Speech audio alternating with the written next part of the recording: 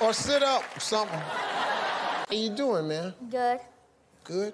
You're six? Mm-hmm. How much was those shoes? Mm-hmm. You don't work? Nope. Do you want to work? Nope. What made you wear a blue suit? Mm-hmm. Did you get it for Easter? Nope. Did you get it for Christmas? Nope. Did you get it for your birthday? Nope. Yep. Can you spell nope? Mm-hmm. You, you, your tooth is missing. When did you lose your tooth? Mm, I think I was eating hard stuff.